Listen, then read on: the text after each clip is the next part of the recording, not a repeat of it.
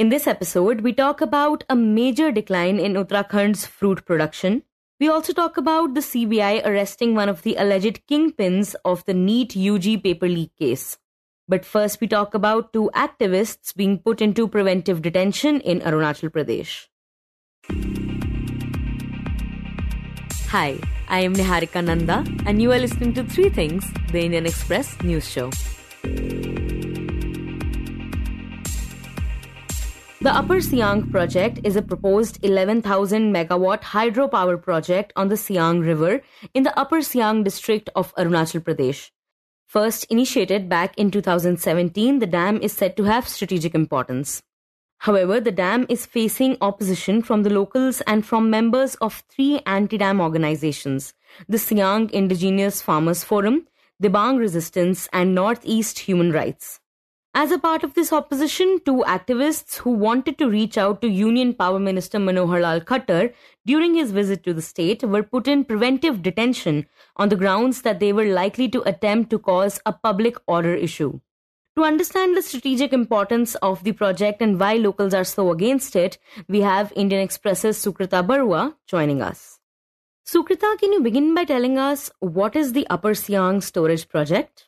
So the Upper Siang Multi-Purpose Storage Project is a proposed hydropower project. It's not been constructed yet. It's proposed to be this 11,000 megawatt hydropower project which would make it the largest such project in India. And it's proposed to be built on the Siang River, which is in Arunachal Pradesh. Now, the Siang River is the same river which ultimately becomes the Brahmaputra further downstream. So it begins as Tsangpo in uh, Tibet and it flows for more than 1000 kilometers in Tibet. And then it enters, the same river enters India from a place called Gelling in Arunachal Pradesh. And that's when it becomes the Siang. And then once it flows further down in Assam, this becomes the Brahmaputra. So this is the river on which this project is uh, proposed to be made and the project is said to have strategic importance. Can you tell us a bit about that? Though, you know, has this proposed capacity of 11,000 megawatt, but uh, officials repeatedly point out that its hydropower potential is a byproduct actually. And the major thrust that is made when proposing this dam and talking about this dam is its stated strategic importance. So, like I said, this river begins in Tibet, flows for a considerable length there, and then enters India. So, China is, uh, you know, uh, reported to be working on a number of dams and hydropower projects in the Tibet region. And the largest of this is actually a 60,000 megawatt project. So this Upper Siang project is projected as being a counter to that. So that uh, proposed 60,000 megawatt dam in Tibet is not only supposed to produce a huge amount of hydropower for China, but also it's supposed to be diverting water, the water of the Tsangpo towards North China, which is water scarce. Now, what that is believed that what is fear that will be the consequence of that is that the flow into India will be decreased. So this Upper Siang project is supposed to function as kind of a reservoir. So if the flow decreases, then you know it can counter that effect. So that is why this project is projected and touted as one of relevance to national security and as a strategic project. And Sukrita, can you tell us why is the project facing so much opposition from the locals?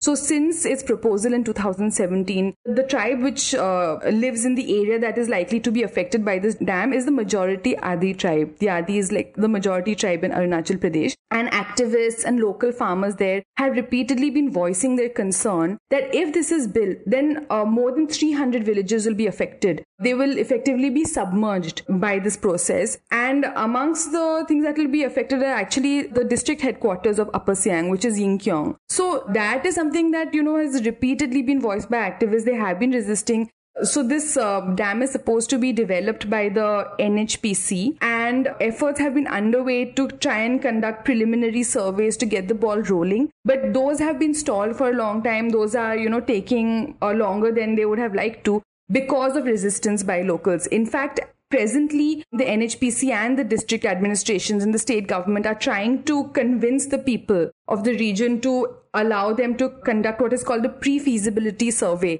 because the NHPC has identified three sites in this area and they intend to carry out pre feasibility surveys in all three of these locations to finalize the final location of the dam. So they're trying to convince the local population to allow them to conduct these surveys, but the people are still resisting it. And, uh, you know, this is an ongoing resistance at the moment.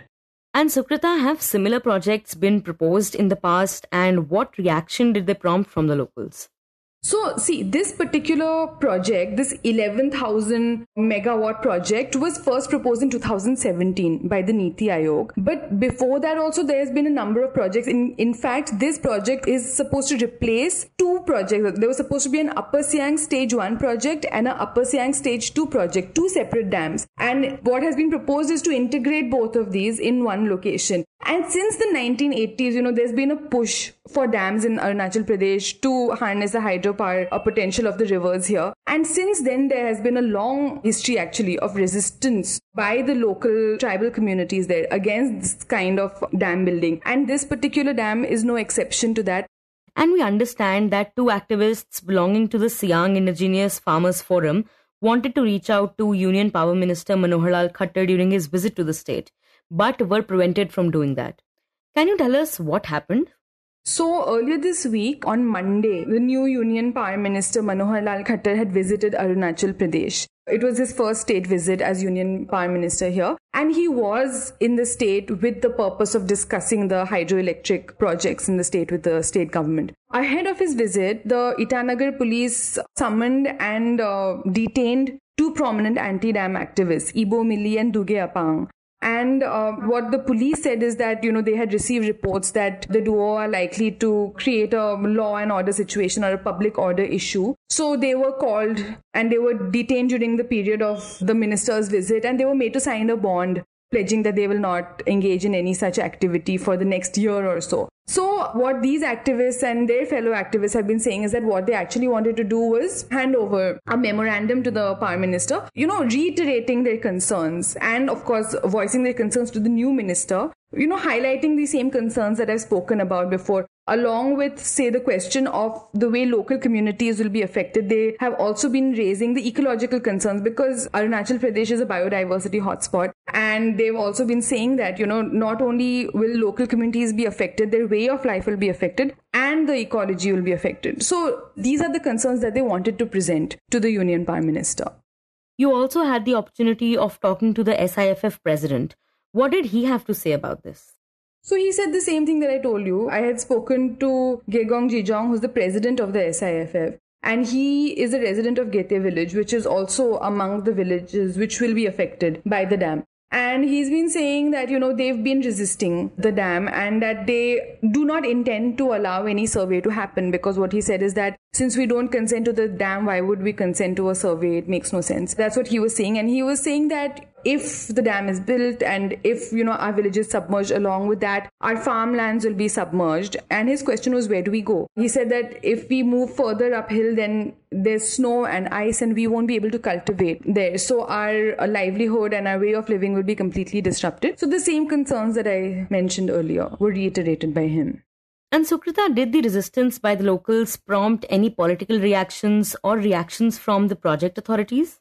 the attempts by the state government and the NHPC to get the ball rolling have been stalled considerably because of the resistance by the people. So the state government, NHPC and the district administration have been trying to conduct these public awareness programs and you know try and tell them that you know these surveys are going to happen please cooperate with us so these kind of meetings have been taking place this year uh, you know the apprehensions raised by the people are uh, politically acknowledged. This year arunachal pradesh has had two major elections. They had their uh, assembly elections and the lok sabha elections. And while campaigning in this region chief minister pema khandu had said that you know we acknowledge the concerns and uh, the dam will only be built with the consent of the people but, you know, even after he said this, there's been this, you know, renewed kind of push and renewed efforts by, not renewed, but, uh, you know, we're seeing an acceleration in the push to begin the pre construction activities. And along with this kind of, you know, public awareness meetings, as the district administration calls it, there's also another parallel thing that is happening is that the NHPC is uh, intending to pump in a lot of money into this area, which is also part of public outreach. So it has finalized a rupees 325 crore package to, you know, introduce livelihood schemes and to upgrade and build new health and education and sports infrastructure in this area. And these MOUs are being signed between the NHPC and the state government, which is also, you know, a part of making the mood of the people more amenable to enabling this dam to be built here, to try and win them over to this.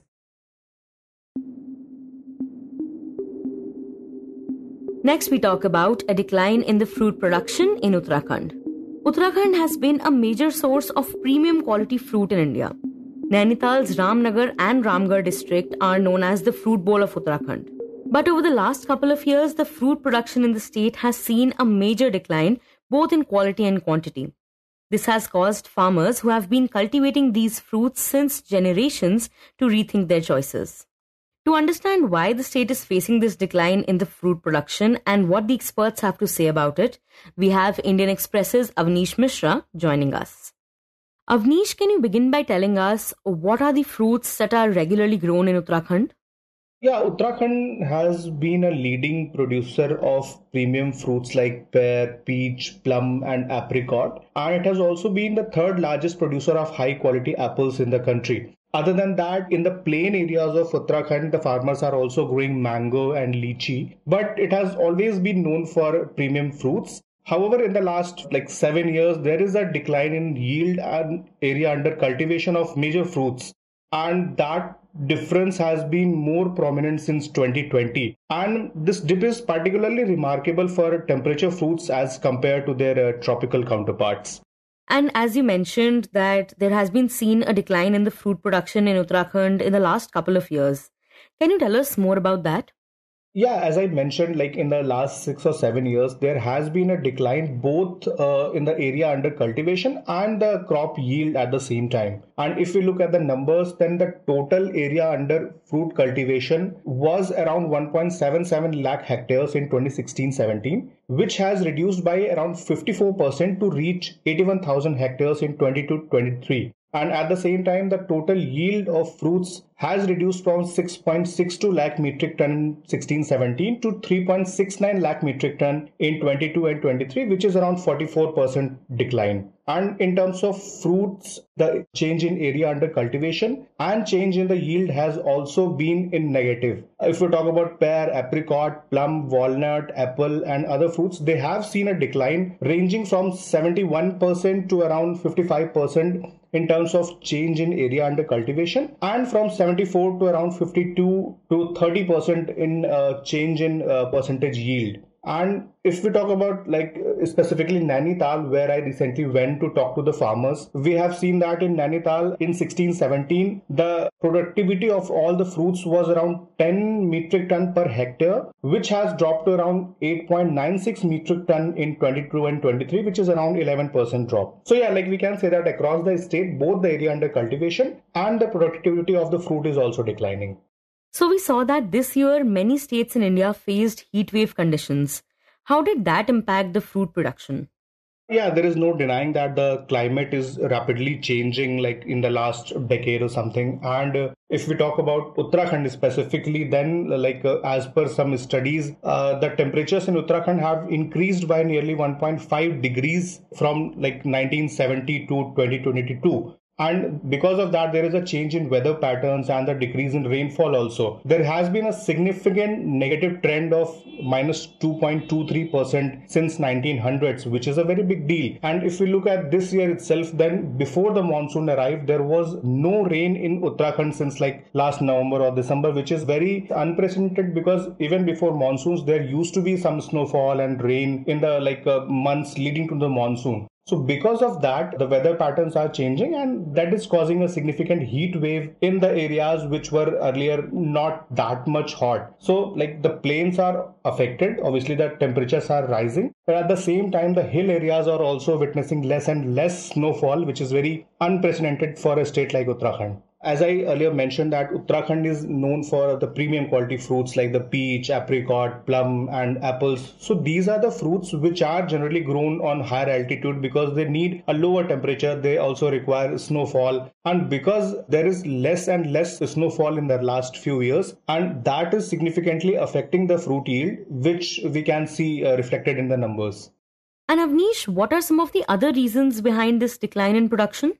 If we see, then we can say that all the reasons are mostly generated by the climate change only, but the effects are very different. Like for the premium fruits, the high altitude fruits, the scarcity of snowfall is the main reason. But because of the snowfall and less rain, the water level is also going down. The rivers, which were earlier uh, giving like the opportunity of the agriculture and higher water levels, they are drying up. And because of that, the scarcity of water is very prominent. And like as a result, the fruits are shrinking in size because the fruits obviously need water to grow. And like in several cases, like because of the heat stroke, even the plants are drying up they are entirely drying up and once they are dried there is no more tree left to produce fruits. So yeah like as i mentioned that the main reason is the climate change but that is resulting in different forms and like resulting in both lesser yield and also a worse fruit quality and in some cases the pest and uh, these things are increasing. In some cases it's decreasing because of the weather change. And at the same time several pests and several insects are changing their properties. In several cases like i was talking to a scientist he said that there were some pests which were earlier attacking different parts of the trees. Now they are attacking different part and like in some cases some pests which were dominant for a very long time they are getting recessive because of this sudden climate change. But at the same time new diseases and new pests are also coming into picture. So it's not exactly an increase but the things are changing. And because of that we need to you know understand it better and kind of change uh, the things or the plants which we used to make for a better yield. You had the opportunity of talking to some fruit farmers in Nainital and in Uttarakhand as a whole and these are farmers who have been doing this for generations. So, what did they have to say about this situation? Yeah, as you rightly mentioned, like in Uttarakhand, there have been several belts. Like uh, the Ramgarh area is known as the fruit belt of Uttarakhand. Then there is Uttarkashi, where a large number of uh, farmers are growing apples. But because of the lesser yield, the farmers who have been involved in this for generations, they are losing interest. The new generation is not that much interested. And because of that, that is exactly what is reflected in the numbers. For some fruits, the area under cultivation has dropped to like more than 70%, which is a big number, which is like two thirds of the entire uh, area and because of that the farmers are not earning enough money and that is why they are shifting to other things at several locations, we saw that farms which were used for fruit production for many years, like decades, they are either selling the land or changing the land use, or they are making hotels and these things. And at the same time, if you talk about Ramgarh specifically, so I went there and I mentioned like water is a big issue. In several cases, we saw like a lot of things are changing. So this year was the first time ever in the history of Ramgarh when water tankers were used to ferry water to houses. And at the same time, the big hotels and resorts there have swimming pools and using thousands of liter water uh, every week. So because of that thing, people are losing interest in this. And I was also talking to some scientists and they said that the problem is real. And if this keeps going on, then in the coming decade or so, we can see that this fruit belt of Uttarakhand might lose its significance. And Avaneesh, has the government made any efforts to alleviate the situation? What I can see so far is that the main issue is that the people are not as much aware about the new technologies and the changes in this field as much as they should be. For example, if we talk about this, like apples, we said that snowfall is something which is very mandatory for the apple farming. In the recent time, there have been some low snow varieties of apples, but the problem is that only the large scale farmers are aware about this. So, yeah, the government needs to kind of reach to the people and educate them about the new technologies and the new research coming in this field and that is precisely what the government has been planning and the local you know universities like the gb Pantnagar university is uh, like involved in this thing and they are continuously trying to reach people through whatsapp groups or uh, like uh, daily bulletins and everything. So i talked to the pune imd and uh, i was talking to a scientist over there and he told me that every day based on the weather patterns they send bulletins to the either directly to the farmers or the local bodies like the local university or the district horticulture officers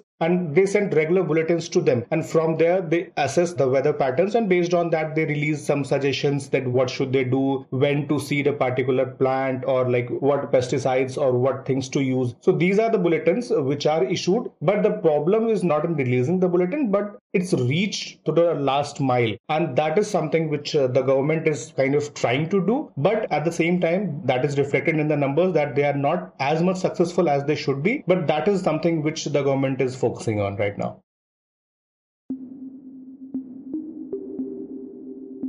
And in the end we give an update on the NEET UG case the Central Bureau of Investigation yesterday arrested one of the alleged kingpins of the NEET UG paper leak case from the outskirts of Patna, according to a source. Nalanda resident Rakesh Rajan, alias Rocky, was produced before a special court in Patna, which remanded him in 10 days of CBI custody. Rocky, who was on the CBI's radar for days, had been absconding and changing hideouts frequently after the crackdown was started on irregularities in the entrance exam.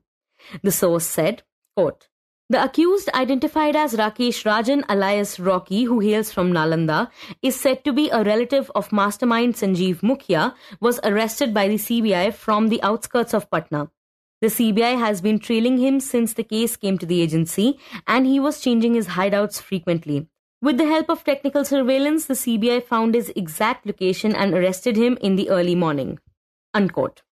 After his arrest, four CBI teams conducted searches at four locations linked to Rajan in Patna, nearby areas, and one in Kolkata. The source also informed that earlier this week, the CBI had conducted searches at 15 locations in Bihar and Jharkhand from where they found incriminating evidence in the case.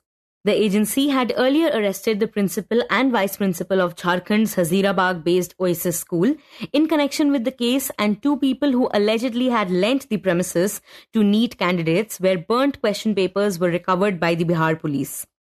The CBI, which is probing the alleged irregularities in the medical entrance exam, has registered six FIRs in the matter so far. You were listening to Three Things by the Indian Express. Today's show was edited and mixed by Suresh Pawar and produced by me, Niharika Nanda. If you like the show, then do subscribe to us wherever you get your podcasts. You can also recommend the show to someone you think will like it. Share it with a friend or someone in your family. It's the best way for people to get to know about us. You can also tweet us at Express Audio and write to us at podcasts at IndianExpress.com.